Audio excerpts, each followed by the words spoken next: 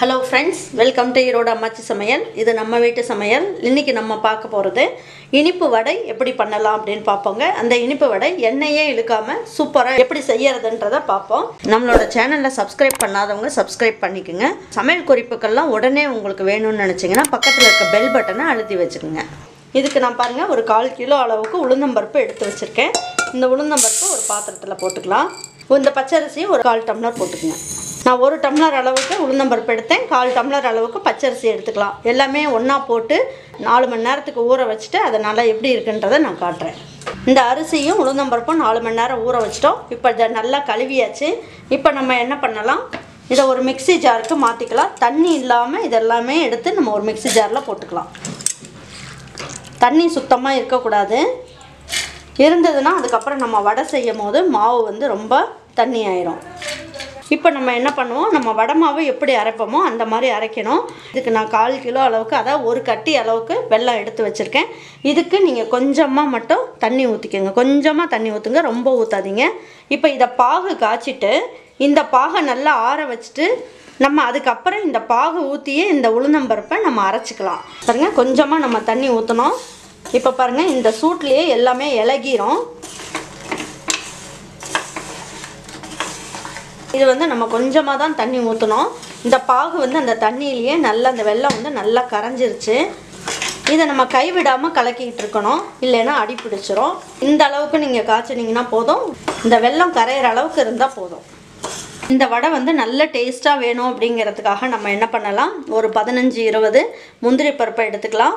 இதிலே போட்டு தூள் பண்ணிக்கலாம். இந்த அளவுக்கு நீங்கள் வந்து நல்லா தூள் பண்ணிட்டீங்கன்னா போதும். இப்போ தூள் பண்ணி இதை எடுத்து வச்சுக்கலாம். இப்போ நம்ம என்ன பண்ணலாம்? இது நல்லா ஆறி இருக்கும் இந்த பாகு. இதையும் வடிகட்டி எடுத்து வச்சுக்கலாம்.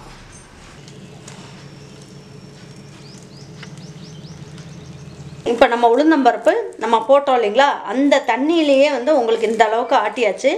இன்னுமே ஆட்டுறதுக்கு உங்களுக்கு தண்ணி வேணும். அதுக்கு இந்த பாகு இருக்குது இல்லைங்களா? இந்த வெள்ளைப்பாகு இதை ஊற்றிக்கலாம் இதை கொஞ்சம் கொஞ்சமாக இந்த வெள்ளைப்பாகு போட்டுட்டு ஆட்டுங்க.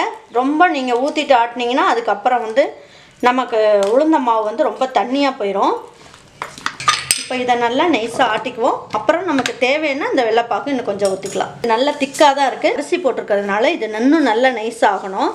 அதனால் இன்னும் கொஞ்சம் நம்ம பாகு ஊற்றிக்கலாம் இப்போ இந்த பாகு இருந்ததுன்னா நம்ம இப்போ வேறு ஏதாவது ஸ்வீட் பண்ணுறதுக்கும் இந்த பாகு வந்து நீங்கள் யூஸ் பண்ணிக்கலாம். இதை ஃப்ரிட்ஜுக்குள்ளே வச்சுட்டு வேணும் போது நீங்கள் யூஸ் பண்ணிக்கலாம்.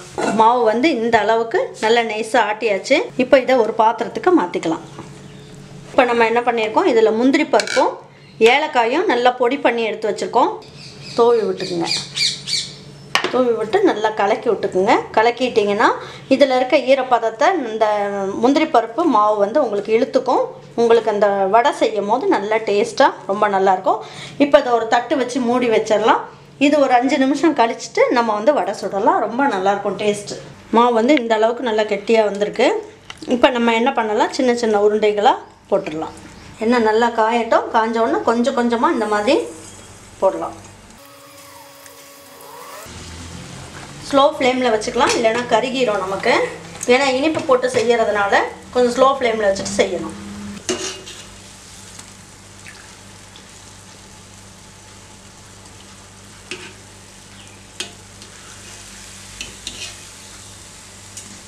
இனிப்பு வடை நமக்கு ரெடி ஆயிடுச்சு.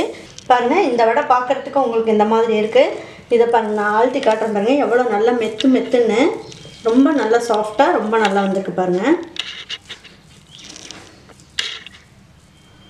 நல்லா கரகரன்னு உள்ள வெளியிலலாம் பாருங்கள் நல்லா மொறு மொறுன்னு. உள்ளெல்லாம் நல்லா சாஃப்டாக ரொம்ப நல்லா வந்திருக்கு. நல்ல சத்து உள்ளதெல்லாம் இதில் இருக்கிறதுனால இனிப்பு விட நீங்களும் உங்கள் பிள்ளைங்களுக்கு இந்த மாதிரி ஒரு வடையை செஞ்சு கொடுங்க.